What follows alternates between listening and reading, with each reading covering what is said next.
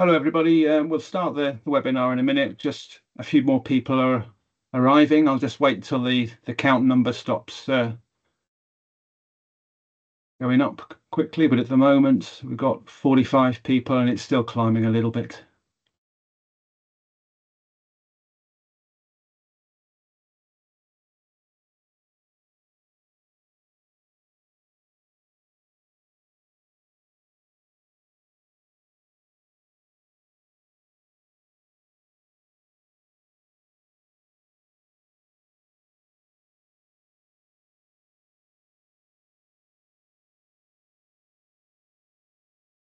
Okay. So hello, everybody. And welcome to this webinar. It's been organized by the Process Industries division of IMechE. It's one of a series of webinars and seminars exploring the many evolving techniques of condition monitoring. Uh, as we know, condition monitoring is becoming easier to use, and we're able to collect more data than ever before. But how can we best make use of that data to optimize decision-making? How can we balance efficiency with complexity, but also optimizing costs for for maintenance and operations? In this talk, uh, Robert, uh, Dr. Robert Kolker will illustrate how current condition monitoring techniques can be effectively applied in an improved asset integrity framework, in particular using digital twins. Rob's experienced in modeling, simulation, and data analysis. He uses digital tools to help his clients in a wide variety of industries to solve complex um, engineering challenges, technical, scientific challenges. At the end of the talk, Rob will be joined by Simon Lewis and Thanos Moros so that we can jointly discuss any aspects of the talk and answer your questions. So please submit any questions you've got in the chat or the Q&A. Also, uh, if you're interested in future topics, feel free to give us some suggestions or even volunteer to help with that. And at the end of the um, of this webinar, there'll be some slides with emails for feedback as well. So a little bit of housekeeping. The event is being recorded. It will eventually appear in the Process Industries division YouTube playlists. Because of the number of people, we've stopped cameras and muted people, so you'll have to use uh, the the Q&A and chats. Sorry about that. I already asked uh, Robert, and he's happy to share the slides um, on individual request if anybody wants those at the end of that. So with that, um, I'll stop talking, and I'll hand over to Robert Kolker. Thanks, Richard. Um, hello, everyone. Thanks for Thanks for joining in with this webinar. Um, so yeah, Richard gave a nice introduction there to what this webinar is going to be about. And I'm going to be focusing on um, optimizing plant integrity management um, using data from condition monitoring, uh, specifically sort of more real-time condition monitoring techniques that we have available to us nowadays that can get us a lot of data. How can we use that data? If we're gathering all this data, can we actually find a good use for it um, uh, and make sure that we're best uh, and effectively uh, managing our assets using that data? Um, thanks, Richard. We'll move on.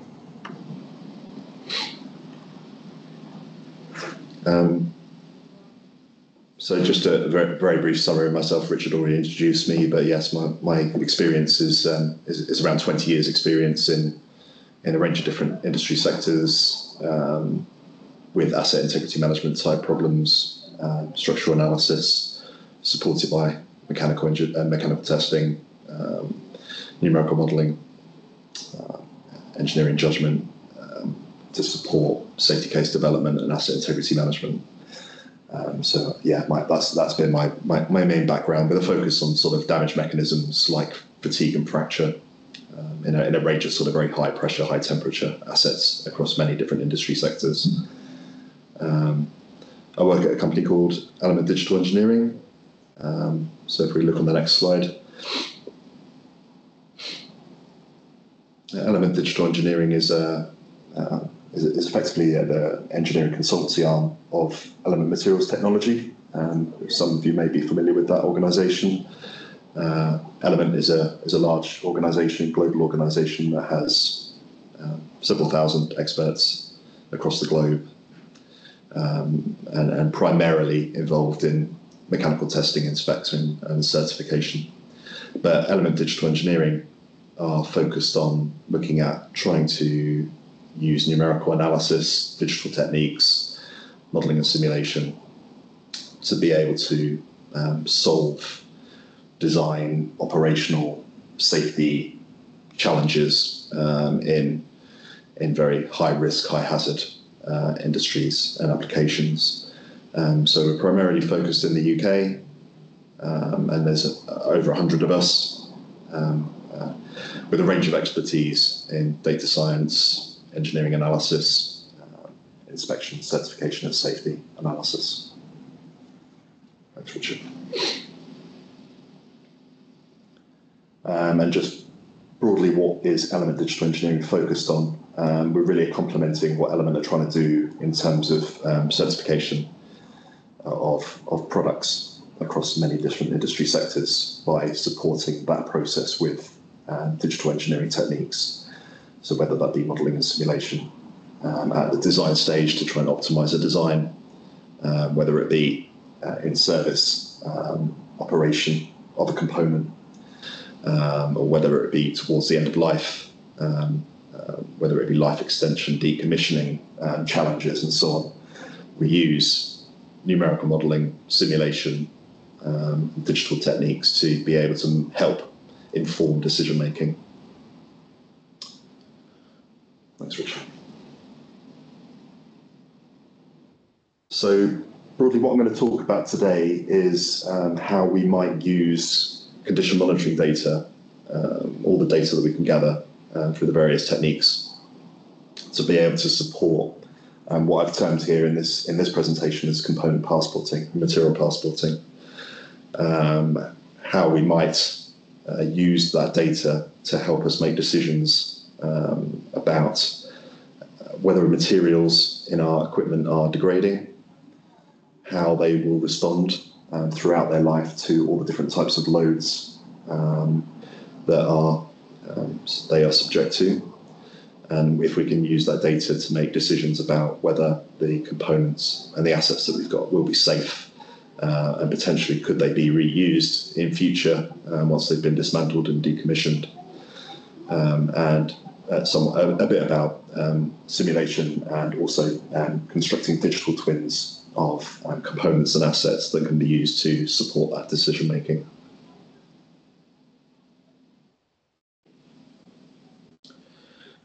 So material passporting then.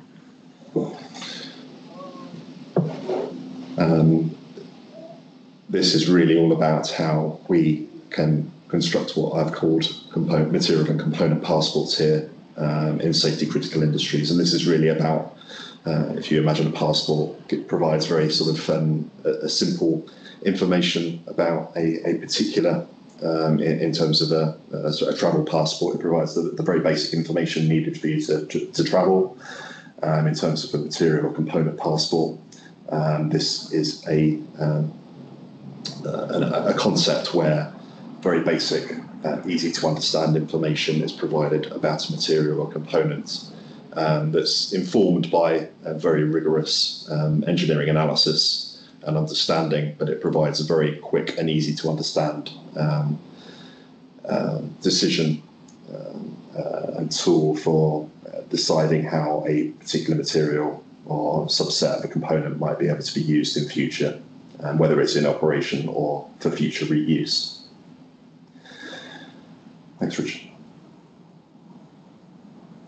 So the benefits of having such things as materials and component passports, um, they're, they're, really helpful in giving us that additional knowledge um, regarding whether materials continue to be useful in service, um, whether they've degraded um, and have become dangerous to use, um, because the de- degradation is actually taken the resistances of materials in our components down to such a level as to they're, they're no longer safe or they're no longer um, operationally applicable anymore? Can we take those materials or components from an assembly out and use them elsewhere, perhaps in a different environment, perhaps in, under different operating conditions, uh, perhaps retrofit them into different assemblies? Um, have they seen a level of damage uh, which is low enough to allow us to be able to do that? So, building up this um, large data set uh, of what the material and the components have seen over their lifetime through condition monitoring data, um, whether that be temperatures, vibrations, strains, and so on, um, is really useful to help inform that decision making process. So, passporting is really useful if we get accurate de- detailed data from our condition monitoring techniques. Um, it's going to summarize for us in a very easy to understand way the state of the materials that we have in our components. Um, and that gives us confidence in, in being able to reuse them, especially where we've got very safety critical um, uh, components in, in very high risk uh, systems in industry. Um, we want to make sure that there really is very limited risk of um, things going wrong and components failing because of uh, excessive material degradation. Thanks. So the data that we can gather um, to incorporate into this passporting um, can relate to a range of different attributes about the system and the operation and the environment in which it's working, um, not just specific uh, key mechanical inputs like vibrations, strains, temperatures, and so on, but it could also be a record of uh, the levels and the types and the frequency of maintenance that the component's seen, um, what environments um, the component's been operating in over its lifetime, uh, a record of um, temperatures uh, and, and, exposure and, so on. Uh, as well as other things um, such as perhaps the, the, the local aesthetics and um, even more qualitative data. If images have been taken, photographs have been taken, those can be attributed to the, the passport of a particular component and used overall in the overall decision making. So, what's what's most important out of all of this data um, that's collected is to be able to very accurately build up a picture as to how much damage has been accumulated into that component. Um, so whether that be fatigue damage, um, whether it be creep, um, whether it be cracking, corrosion damage, whatever type of damage is relevant for a particular component in a particular uh, operating environment, we want to be able to help ourselves make appropriate decisions as to whether we can continue to use that component as is. Uh, maybe we need to modify the operational uh, conditions, the, the exposure environment, um, or maybe we need to consider how, if we were to reuse this component or assembly somewhere else in a different environment, would the residual damage in that component um, be um, too much for that new environment? So there's a lot of data that we can collect, and there's a lot of decisions that could be taken, and they are uh, going to be highly dependent on all of the different variables of um, the existing or the new operation. Um, so there's a lot to understand um, and potentially a lot of engineering decisions to be made. So the data that we collect needs to be accessible. Um, we need to have a way of standardizing it. And we also need to make sure that it is unambiguous um, with as little uncertainty as to the data uh, meaning as possible. So it's really important that we have systems set up to make sure that we uh, have very standardized approaches for collecting and visualizing that data. Thanks. So just just introducing an example as to where these types of techniques can come in very useful, um, and then I'll go into come into this example in a bit more detail a bit later on in the in the presentation. So just imagine a, a, shell and tube heat exchanger. Um, that's got a, a, number of different parts in it. It's got the, the, the main cylindrical shell, uh, the ends of the heat exchanger, the, the, the tube, the tube bundle, um, any baffles that are in there in the heat exchanger, the tube sheet portion, um, any supports, um, any attachments, including inlet and outlet nozzles. So there's a whole array of different component parts that go into uh, a very what could be a very simple heat exchanger, and each of those will see um, different exposure to stresses, strains, temperatures um, fatigue damage, um, potential for cracking, and uh, etc. throughout its life. So, is it possible that firstly we may have a particular design life for this heat exchanger, um, and we've this heat exchanger has been in service for quite some time now. Can we make uh, an accurate decision based on what we've collected through, throughout its lifetime in terms of condition monitoring? Can we make a, a, good evaluation as to whether the damage that's been experienced by the heat exchanger has um, actually been a lot less than we had originally expected um, in the original design? Um, if we don't want to use the heat exchanger um, wholesale and continue its life uh, in its current application, can we actually remove some elements of the heat exchanger? Uh, perhaps the tube bundle um, hasn't corroded as much as we thought it would have. Uh, perhaps the uh, the nozzles haven't seen as much um, in, in, in, terms of potential for fatigue damage and so on, and they, they could be potentially removed and cut out of, the shell and, and transposed somewhere else. So, can we very accurately quantify the levels of damage, whatever that damage might be, um, using condition monitoring data, uh, and then allow ourselves the, the possibility to reuse parts elsewhere?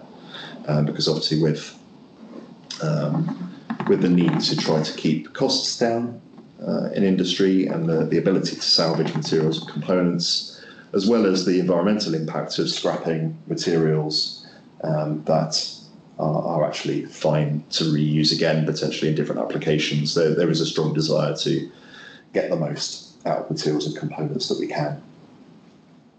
Thanks. So this next little section is just thinking a little bit about, in more detail, about about damage that our components might experience and how that those the damage that those materials might experience, how might that affect our decision making as to where those materials get reused. Thanks.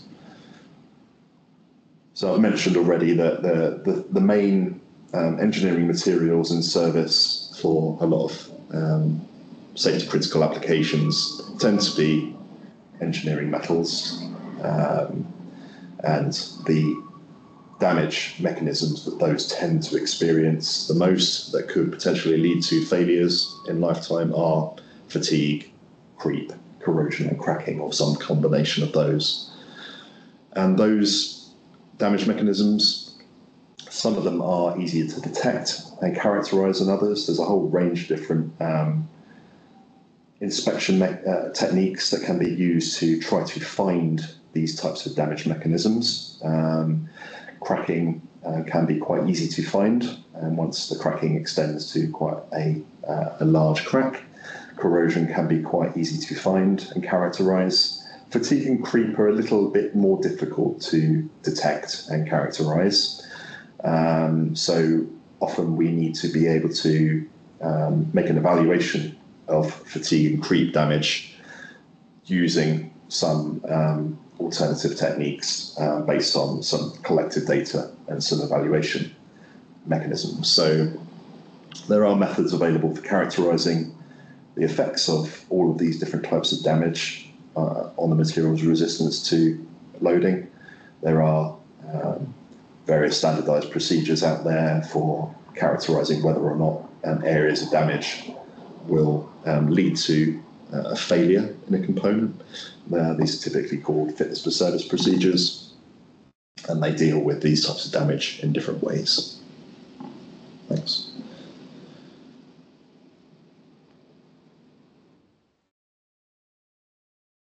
So, so as I've mentioned, different types of damage can be detected using different types of non-destructive um, inspection techniques, but also using condition monitoring, um, we are able to somewhat identify whether or not these um, these damage mechanisms are appearing in our components and in our materials.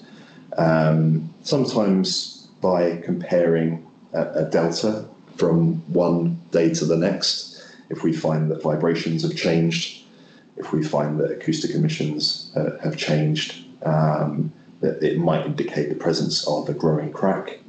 Um, and then it may be a case that a, a more rigorous inspection um, technique is needed to actually characterize that the, the, the size of that crack and how fast it's growing. But we can use condition monitoring to be able to identify if strains are changing, if vibrations are changing, temperatures are changing, and so on.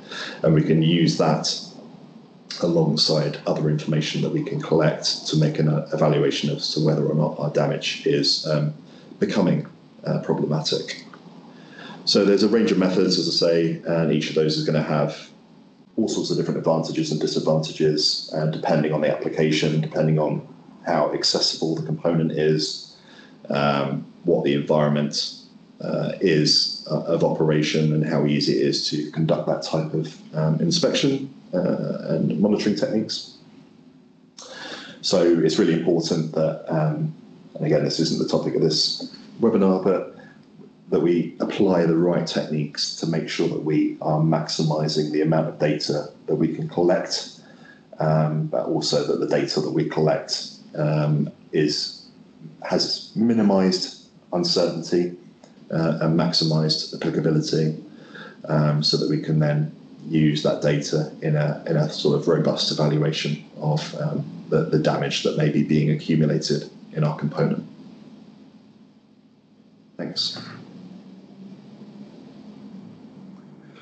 Obviously, mechanical testing um, plays a huge role in understanding whether or not materials are um, resistant to particular types of damage.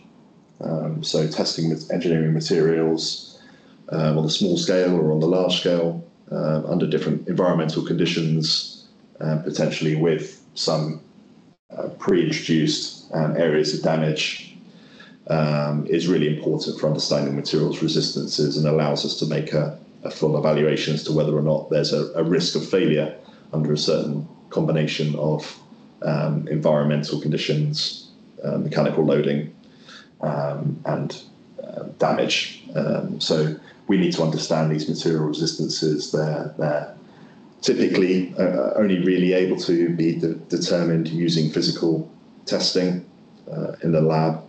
Um, this isn't something that can be technically simulated, um, although we can make inferences. Uh, we can do clever things nowadays with microscale modeling, and potentially um, use um, developing techniques in machine learning and artificial intelligence to try to make inferences and extrapolations as to how a material might respond and it might fail under a certain level of um, uh, a certain configuration of environment and loading. Um, but really, we, we, will never know the true failure potential of a material unless we actually physically test it.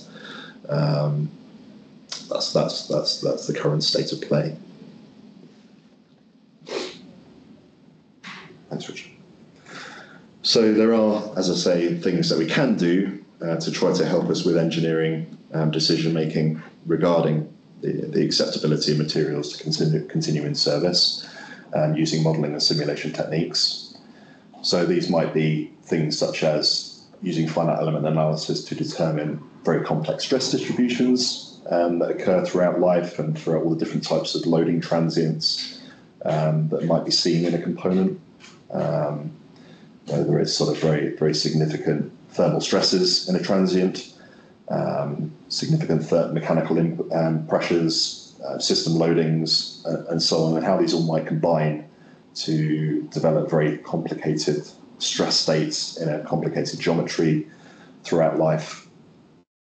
We can then also identify how those complex stress states um, interact with levels of damage within a component to determine the driving forces associated with that damage and how that damage might evolve over time. If we get a good understanding as to what the growth rates of um, areas of damage might be from physical testing, we might be able to evaluate how damage might propagate over time.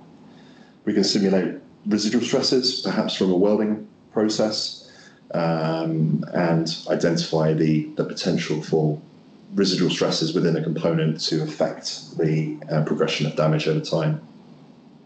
And as well, also simulate things such as how we might, if we found an area of damage, how might we repair that component um, and what would be the effect on continued operation of that component be, um, and how would that change the levels of stress that we might see in the component over time, and, and things like beyond design basis events as well. So things that weren't taken into account in the original design, how might, say, an earthquake or, or, or so on affect um, the, the, local driving forces um, around a damaged component and affect the potential for failure of that.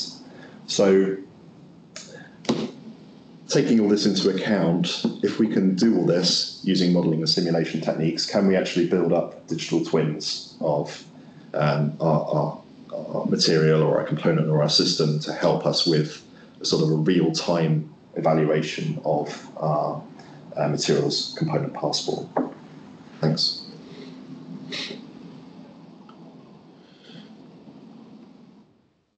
Thanks, Richard. So a brief run through of some of the challenges here to effectively quantifying uh, materials degradation. Okay. So we have complex materials potentially are increasingly being used in industry applications, um, including metallic welds that are not homogeneous in terms of their response. Um, they potentially have unknown material properties and resistances that are very complicated to test accurately for um, and also to characterize um, for use in an engineering evaluation. Um, we potentially have much more complicated design geometries and operating configurations and operating environments that can be very difficult to construct um, suitable test rigs for and to replicate the actual behavior that the component will see in service. And materials have a significant amount of scatter in their materials properties and resistances. Um, so there's a lot of uncertainty there as to how we actually treat the materials resistance data in an engineering evaluation as well. Thanks. And there's all sorts of problems related to actual in-service exposure um, to uh, complicated environments, especially those we don't know a great deal about yet, and how what their impact is on uh, typical engineering materials. Um, there's a great desire to use hydrogen more in the future, um, and it has only been recently um, uh, investigated in, in, in, great detail as to what the hydrogen effects on materials degradation are um, in certain certain scenarios, although it is a very complex um, um, a degradation mechanism. There's a range of different hydrogen degradation mechanisms, and these are really only being uh, uh, experimented with and evaluated uh, in, in, the last last couple of decades, really, and still not very well understood. Um, as I mentioned earlier, there's a whole range of different inspection techniques and methods for characterizing these areas of damage, um, but for new materials, new environments, and so on, these uh, may not be very well refined and there may as well be accessibility issues. So inspection may be very challenging, um, which obviously means that if we cannot do um, direct inspection and non-destructive testing, can we rely more on condition monitoring to be able to give us the data um, that we need to be able to make good evaluations as to whether or not uh, there's uh, too much damage in our structures. And we also have problems with demonstrating in-service fitness, fitness service um, in the presence of complicated areas of damage in complicated geometries where the materials and their resistances uh, may not be sufficiently well understood. Thanks. So how could we use um, simulation and digital twin techniques supported by condition monitoring to assist with all of this?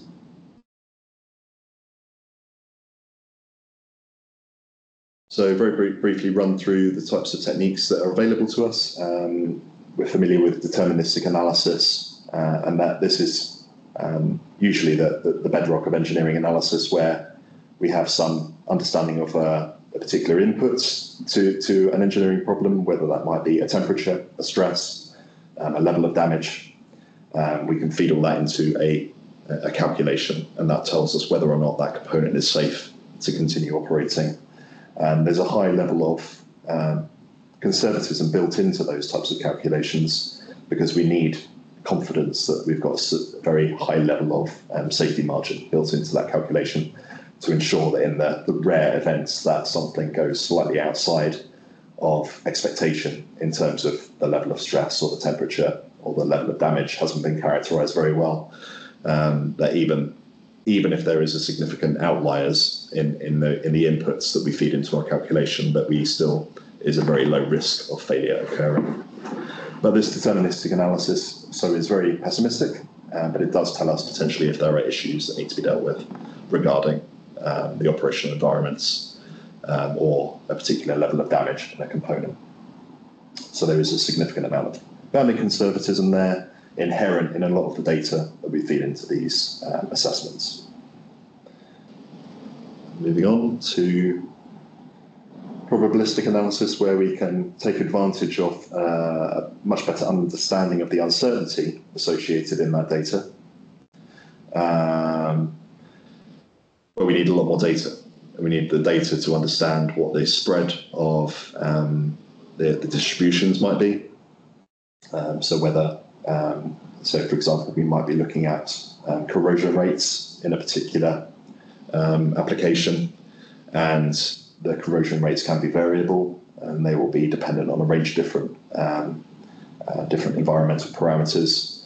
Uh, but if we can get a sort of reasonable distribution as to what the expected corrosion rates might be, we can make a probabilistic assessment as to uh, what we might expect in terms of a, a corrosion defect propagating.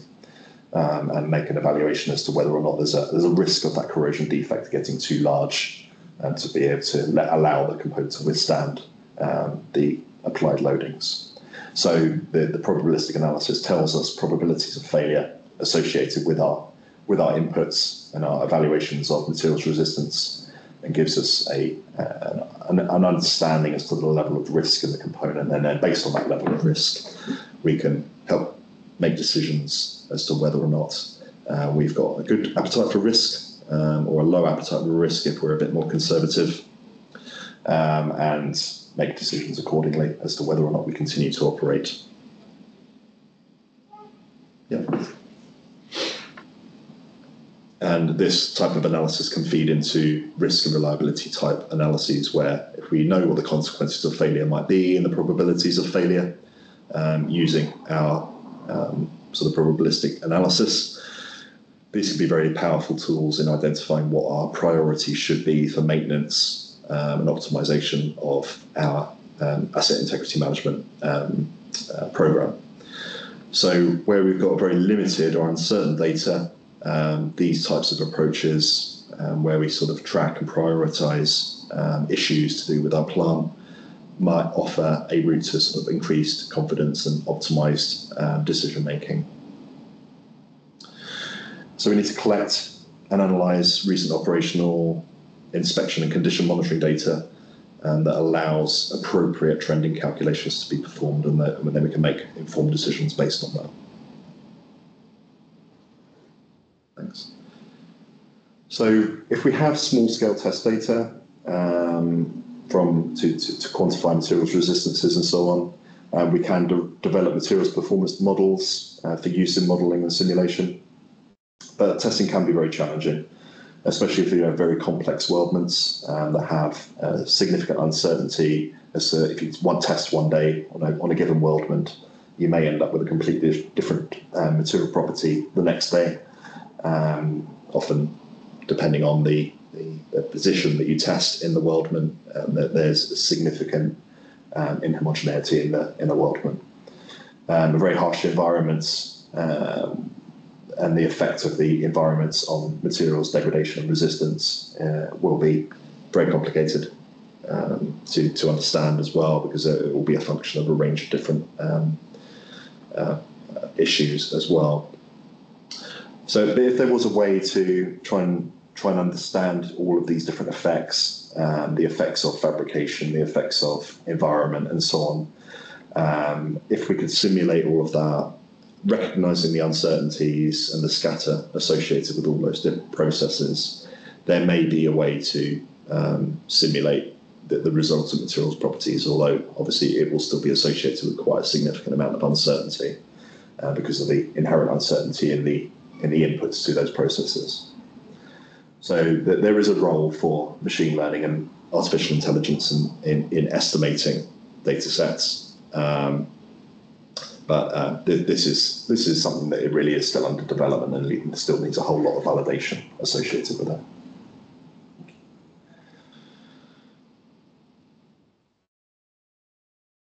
So, just just su- summarising that point, really, we, we we need to gather a whole lot of data uh, about in-service operation um, to be able to make any kind of decision. Really, um, condition monitoring plays a big role in gathering this data, um, especially in situations where non-destructive inspection is too costly or impossible to actually achieve because of accessibility issues and so on. So we can actually use condition monitoring data, um, strains, vibrations, temperatures, and so on to feed into um, what might be termed a digital twin um, and make decisions based on real time evaluation as to what the condition monitoring data is telling us um, about potential for degradation of materials. Um, so th- there is a huge challenge here with, with data acquisition, storage, and, and use. Um, the more data that we can collect, the better. Obviously, the more data that we've got access to, the more deci- decisions that we can make. But as we get more data, it becomes much more cumbersome, and we're going to need to uh, apply some very strict and robust data analytics to that data to make sure that we're using it in the most appropriate way um, and we are not missing anything. And as more and more data becomes available, and the, the potential for human error uh, and human factors related issues becomes uh, much bigger. Um, so there is, again, uh, a role for automation um, and machine learning in processing uh, that data and making decisions based on those huge data sets. Thanks.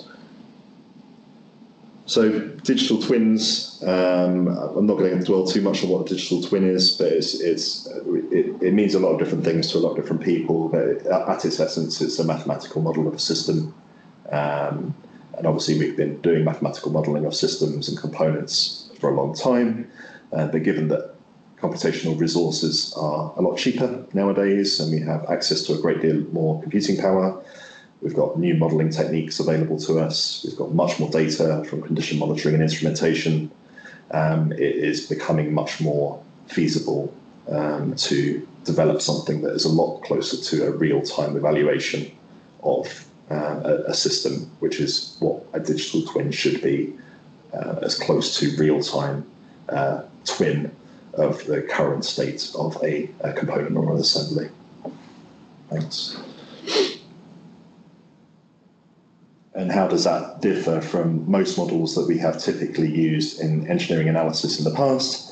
Um, as I mentioned, we, we want it to be as close to real time as possible rather than taking a snapshot from an inspection that was done, say, a month ago and feeding that into an engineering analysis.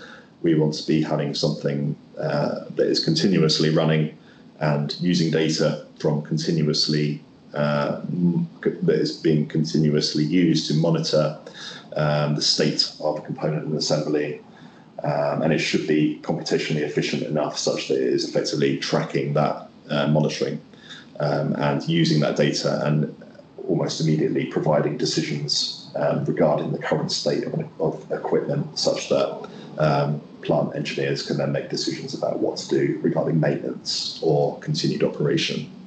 Um, so, as I mentioned right at the beginning, all this needs to be in a fairly unambiguous format. We need it to work in a way that the decision making is unambiguous and it explains why that decision has been made based on a certain level of damage that's been found or inferred based on the data that's been collected. So it needs to be unambiguous to allow engineers to make um, reasoned arguments about uh, operation and maintenance. Thanks. Um, there's a whole range of stages to digital twin development, as you might imagine, in terms of validation, monitoring, and review, and continued improvement. Um, so we won't dwell on this slide too much. Um, this, this, will be available, uh, this set of slides, but um, there's a whole range of different tasks that go into developing a successful digital twin uh, and continuously updating it to make sure it's still um, valid.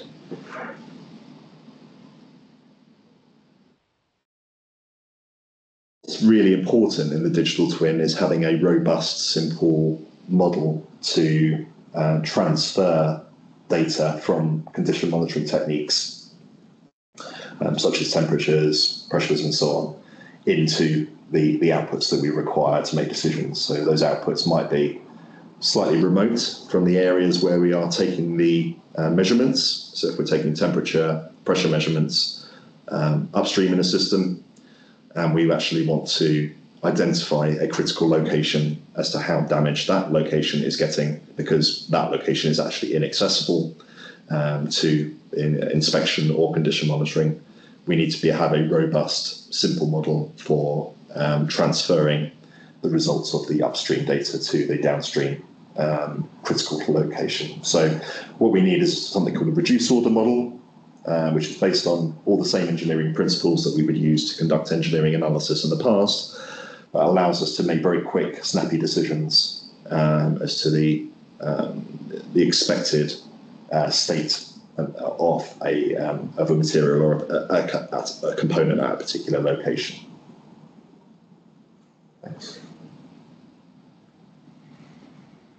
So there's all sorts of different reduced order models, and we use them all the time as engineers. Um, most engineering calculations um, that, that we do are a form of reduced order model, and we're, we're simplifying systems and um, physical processes down to something that can be um, easily calculable using sort of closed form equations and so on.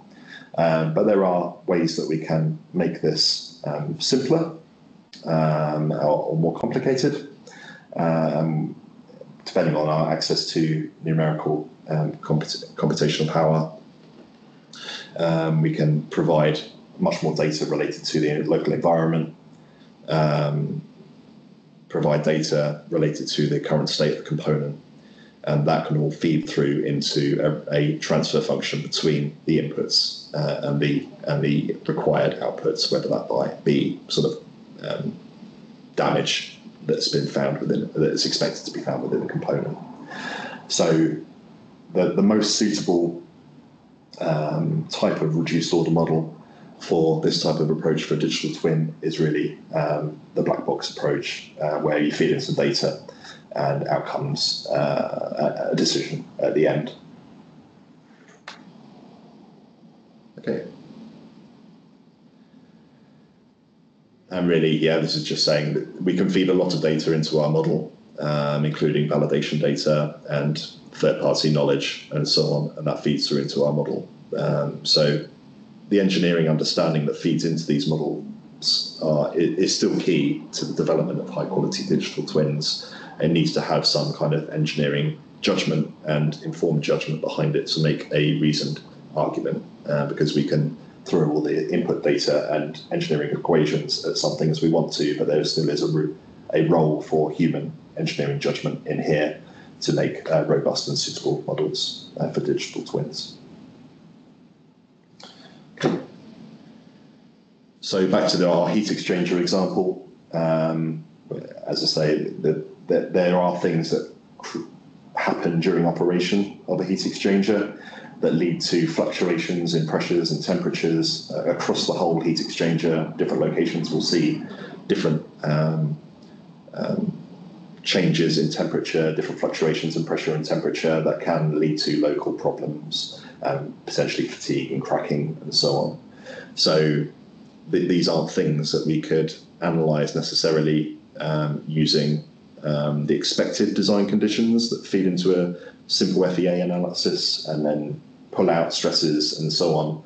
And from that, the, these are things that would need to be tracked at a local level using fluctuations in local temperatures and local pressures, um, uh, uh, fluid distribution, and so on. So there, there is a role here for localized condition monitoring and looking at the impact of that on the potential for evaluation of damage. Thanks. So uh, historically, what would we have done um, to identify if there's um, if, if a component or assembly is safe? Rob, Rob, just to say we're Rob, sorry, I know, just we, to say we're quarter to the hour, speak. so uh, crack on. Thank you. Yeah, thanks, Richard. Yeah, yeah, we've just got a couple of slides left, so thank you. Um, so typically, we would have gone through a process of um, analysing a, a component's um, thermal profile uh, and the response to that thermal profile and the mechanical stresses that result, um, and then use those stresses in sort of worst case conditions to identify whether that component was at threat of failure. Um, but this only really works when you can analyze one or two static conditions. Um, it's obviously a very lengthy process to build a finite element model. Um, we don't want to be doing this every time we encounter a new condition or encounter a new level of damage in a component and identify whether or not that component is safe. So what can we do instead? Thanks, Rich. What we want is our reduced order model, um, where we effectively um, build a series of analyses, probably parameterized uh, version of the finite element model, and identify what the effect on the local stresses might be as, as a result of a combination of temperatures in, say, uh, different adjoining tubes in a heat exchanger. What effect does that have on local stresses? So we can start to build our transfer functions between local temperatures and the local stresses in a system that can then feed through into uh, an evaluation of fatigue damage. Thanks, Richard. So if we can track operating uh, temperature data from our various adjoining tubes in a heat exchanger, we've got our transfer function from our reduced order model, turn that into some form of fluctuating stress, and fluctuating stress can then be fed into um, whatever form of fatigue evaluation that we want to, whether we want to use some sort of SN curve to identify fatigue damage over time. Um, we can do that. And this whole process then takes of once you've got the once you've collected the temperature data, we can then um, feed that all that through all that through into the calculations and come out with an evaluation of progressing fatigue damage in, in minutes rather than sort of the days, the weeks it might take to evaluate several different configurations in a in a finite element analysis. Thanks. So just speeding through a summary now. Um, we can we can assess the number of fatigue cycles from that data, and we can predict what the tube sheet, the various components in the heat exchanger, um, predict the damage across that across that assembly, and those real time predictions allow us to provide provide decisions on um, uh, interventions, maintenance, increased or reduced inspection intervals, and whether or not we want to take this heat exchanger somewhere else in the future. So the digital twin types of techniques can be used in scenario planning as well. So if we wanted to say uh, to come up with some what if scenarios, like what might be the effects of changing um, temper- inlet outlet temperatures and so on, how many additional startups might be um, achieved or um, sacrificed um, by, by doing that. So there's a range of different applications for digital twins in terms of what if planning as well. Um, and having these access to these really realistic damage predictions allows a significant increase in reusing and decommissioning that plant for some some other application. Thanks, Richard. So just a very brief summary then of the whole talk. Um, there's obviously still a range of challenges in engineering decision making, um, especially with access to new and exciting engineering materials, um, new and exciting inspection and condition monitoring techniques, um, and uh, the drive to try to uh, reduce environmental footprint um, associated with our engineering activities. And there's not often the time, money, or ability to be able to characterize materials performance in a way that would allow us to um, conduct sort of historically um, what we would term to be deterministic structural assessments. So we need to do something a bit quicker and a bit faster and a bit more effective. So data analytics is going to have a huge role to play in demonstrating that in-service components do the job and are also fit for reuse once their job is done. And that data analytics is going to heavily rely on accurate um, and um, accurate condition monitoring data that has very limited uh, uncertainty associated with it. Thank you. So just very briefly about digital twins, they're, they're very computationally efficient. Um, they're going to effectively be allow us to make real real time um, decisions about how our components will behave in the future, and it will allow us to make a lot of decisions around um, changes in operation, um, uh, decisions around maintenance for our asset management type programs. Um, and it's important to note that this is a, a continuous process. It's not a one-off um, tool. We we need continuous development of the digital twin to take reference of new uh, data, new feedback from users um, regarding what they've seen uh, in a qualitative sense. So, the underlying all of this is reduced order models. We need to make sure that our our transfer functions, our reduced order models are actually um, correctly um, uh, des- describing what's going on in the system. So there's a whole range of different uh, types of models that we can choose from, but we need to make sure that um, the, the, data that we are selecting and the, the functions that we are using are most accurately describing what's going on in terms of the physical processes. Thank you. So thanks for that. Um, yeah, that, that took uh, obviously talking for a lot longer than I expected to there, but we have got 10 minutes. Um, so I'll hand back to Richard, who might have picked up some questions as in the chat as we go along. I have just, um, thanks, Rob. Just, I'll, I'll, flick through a couple of slides and then we can just finish off with questions and hopefully um, we won't run out of time. You can look um, on YouTube, you can find we've got a, a, whole bunch of webinar recordings, just a few examples. There's lots, lots more of them um, to do with all sorts of technical topics, including condition monitoring. Oh, that's good, isn't it? Certificate errors, fantastic. Um, I'm not going to link those. We also um, we have a seminar coming up in September. We we ran this last year as well at the University of Manchester. It was very successful. It was almost a talking shop with a lot of industrial engineers there talking with each other, interacting with the presenters. And I think everybody went along, had, had a good time. And you won't find cheaper seminars than we put on. This is only 40 quid. We're only covering our basic costs. We're not out to make any profit. Everyone's volunteers. So if you want to come along, register for that. And then just while we're answering the questions, I'll leave this slide up because if you want a CPD certificate or if you want to give some feedback, there's some email addresses there. I'll just leave it up while we go to questions. Perhaps um, if Thanos and Simon can also pop up their their um, their video um, feeds from their cameras. I've got um. You can probably all see the questions in the Q and A already. I asked a couple, but I think we should start off with someone someone else. So we've got this question, how do you think leak detection repair technologies can contribute to a more reliable facility? Is leakage data relevant to condition monitoring? And it actually go, let's ask, do that bit first and the second half to the question. So uh, yeah. uh, I don't know who wants I, to I answer that. that.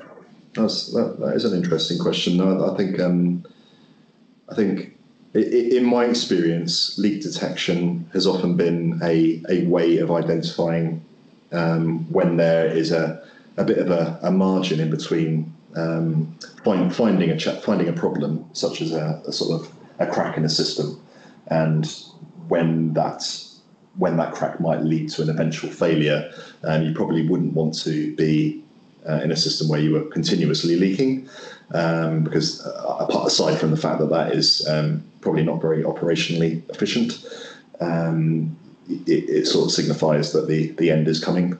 Um, so having leak detection equipment is is really great. Um, I think I think having I think I think you could probably term uh, leak detection equipment as condition monitoring um, equipment um, because it is effectively monitoring what the state of the, the equipment is, i.e., there is a an unexpected leak here, so there is obviously a, a crack of some kind, and as that le- those leak rates increase, that is uh, that is implying that there is a change in the system as well as, as the crack grows, for example, or a, a gasket is loose or something like that.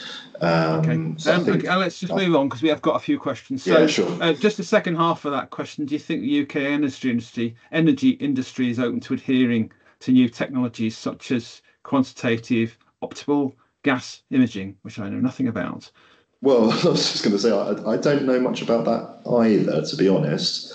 Um, but I'm sure that if there were a, um, if quantitative optical gas imaging, I'm, I'm, just imagining what that might that might be. Um, but if it if it were able to characterise um, the leak rates and the, the potential for identifying how cracks are growing or, or leakages in the system are developing, I, I don't see why why the energy industry wouldn't be um, so, uh, uh bringing that forward. Yeah. Okay. Um, and another question: What complex systems have you implemented this uh, integrated digital twin solution to?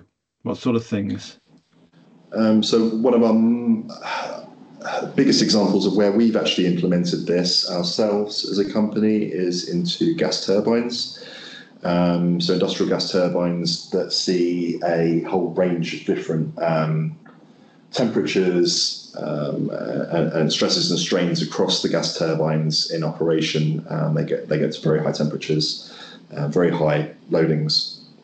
Um, and in different parts of the system, they will be subject to significant strains. So this can be really useful, and this has been really useful in identifying critical parts of the gas turbine um, system that need to be monitored further uh, and inspected further for potential damage. There's, there's, two or three questions about regulators. I, I, put one or two in, and Simon has as well. I, will sort of start off with my one because I think it sort of sort of includes that. So in the UK, would Health and Safety Executive accept these techniques as an ALARP demonstration, as low as reasonably practical, in other words, for, for fitness for service? Because I've been asked question on COMAH sites, how how long do we have we got with this before we have to start worrying about it? Yeah, it, it is. I think I think it's evolving. So I think in terms of the HSE um, and, and potentially other regulators, they, they would, uh, as long as it can be demonstrated that robust physical engineering arguments have been implemented in the design of these models and these applications, um, I think the regulators are very pragmatic in the UK and will um, accept good engineering argument as long as it's got good basis.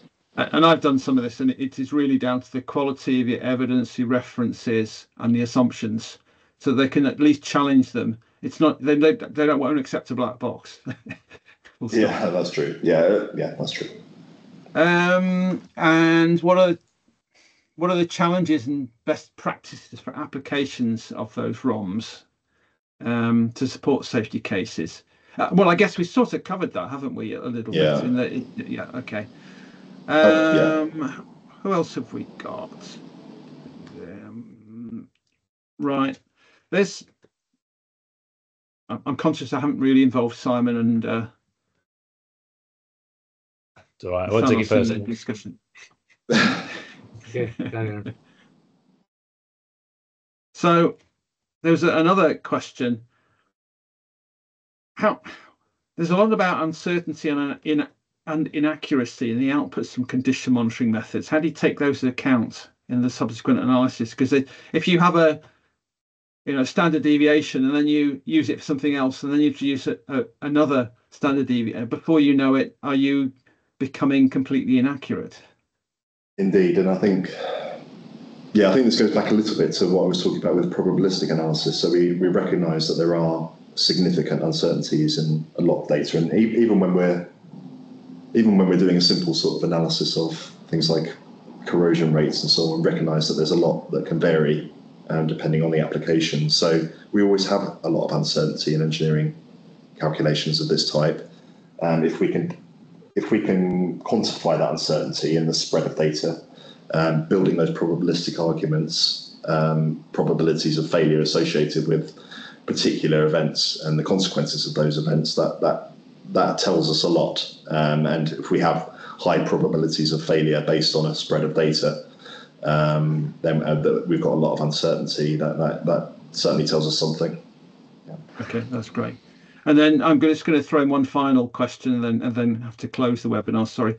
And, and if you haven't asked your question or haven't had it answered, using the feedback form or Murat's email address, we'll get back to you afterwards if you want to continue this conversation. The final question was this was almost, I thought the material passports were a way of sort of life extension and reuse because I couldn't imagine trying to reuse a heat exchanger rather than scrapping it. I'd have always scrapped it in the past. You suggested well, indeed, indeed. I, I, think, I think probably, uh, yeah, I'm, I'm, probably exaggerating a little with the, the, the potential for reusing parts of the heat exchanger. But you, you, could you could see as as we get as we get better understanding of damage accumulation in all these different parts, um, and we get a better understanding as to how these materials might be reused, where we previously in the past were quite pessimistic about what could be reused out of an assembly, we might have a better justification for doing so in the future, as a lot of this a lot of this data that we're accumulating comes online and we can make better decisions with it. So yeah, it's, it's, it's certainly not something that's done regularly, but um, that, that that is the concept behind the materials and component passporting is how can we how could we use elements of this elsewhere. Okay, I think I'm going to have to call a halt to that. I've just put Robert's um, slide up with his email address if anybody wants to talk to him directly, robert.kolker at element.com. Uh, thank you very much, Robert. Very interesting.